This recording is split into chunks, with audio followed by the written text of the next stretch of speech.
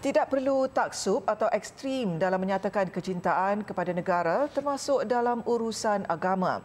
Timbalan Menteri di Jabatan Perdana Menteri Hal Ehwal Agama Dr. Zulkifli Hassan berkata, tindakan melampau itu boleh mendatangkan kesan buruk kepada masyarakat serta boleh menggugat ketenteraman negara.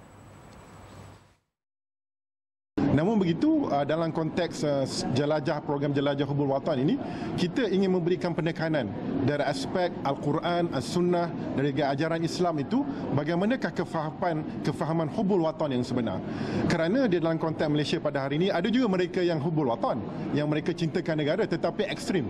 Ada juga mereka yang cintakan negara tetapi hulu ataupun melampau.